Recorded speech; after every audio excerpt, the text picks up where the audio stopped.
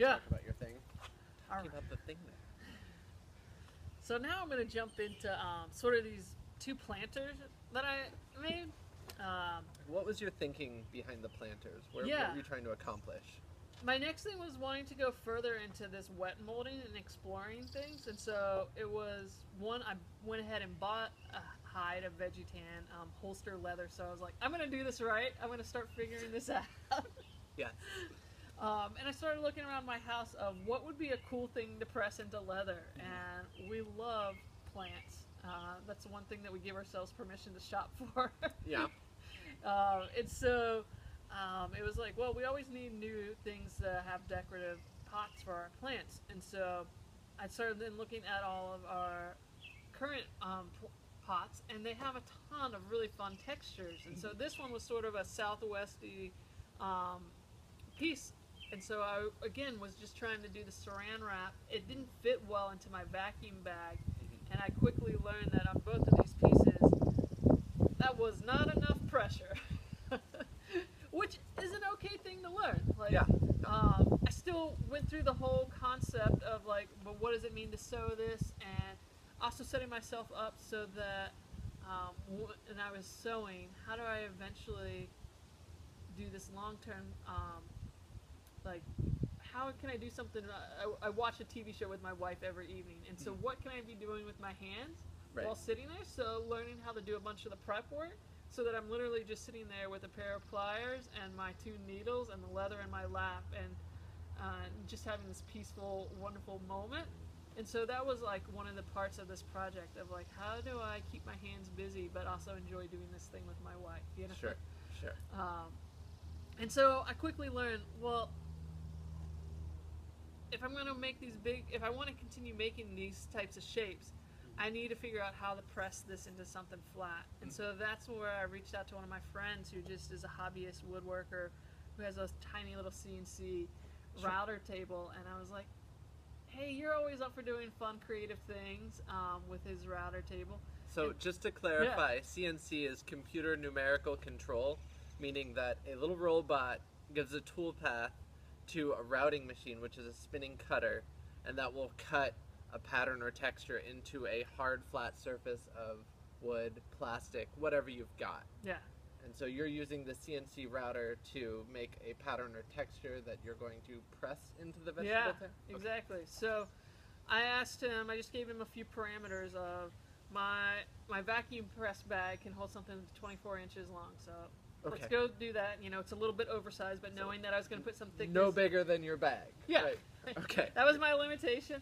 Um, and that this one was eight inches, and that seemed like a reasonable size, height, and that I didn't want the pattern to go all the way up into the edge because I wanted a nice border around to um, Okay. just make the.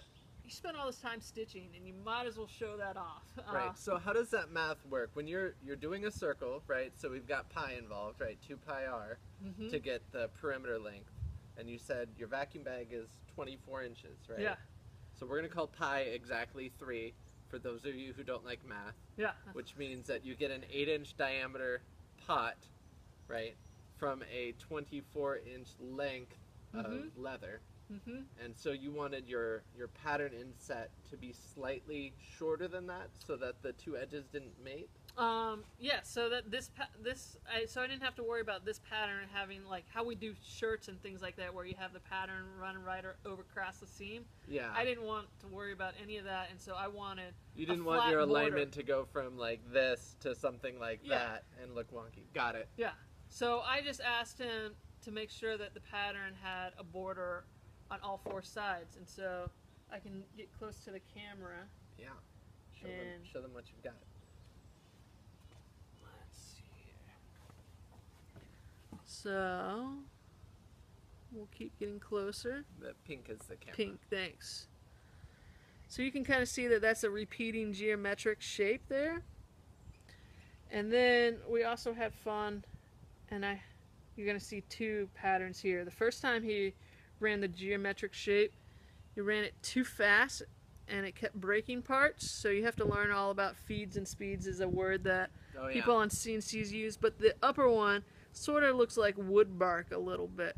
Mm-hmm. Um, and so that is that was kind of an I want to explore that one, um, and I go and I pick these ones up for my buddy tomorrow, so I haven't gotten a chance to try them out. But the geometric one has potential to fail because if it for some reason isn't as consistent, your eye is going to be really drawn towards that. Um, the repeat pattern, your eye will just pick it out more, which is okay because it, it leather's a natural product and that's going to be okay. And I don't need it to be super precise, but the kind of one that looks like wood bark has a little bit more forgiveness built into it Right. because your eye's not expecting something to come and be repeated over and over again. So one thing I found whenever I'm trying to do like a cloned pattern texture, what I'll do is I'll cheat. I'll I'll 3D print whatever pattern I want to do my emboss with, and then um, I'll make sure that the profiles are very dramatic and sharp, kind of like a cookie cutter. Okay. I'll get the weather the leather super wet, like really wet, and then I'll just park some serious dead weight on it, and I'll leave it there for um, two or three days Oh, nice. and it'll start to dry. And the trick is in Seattle, if you if you leave it too long, it can mildew, and you don't want that to happen. Um, but you can always skive the mildew off and then oil it, and that's not a problem. Okay. Um, Yeah. But that'll be a good way to get pressure. So I made a comment in one of the videos. I was like, I don't know if people still have textbooks, but I do. And so I just park. I just take you know half the sh- books off my library shelf and just park them on top with you know something between the wet Yeah. leather and the book. Yeah. just you know a little piece of plastic. That's fine. And then just stack it with you know 60 pounds.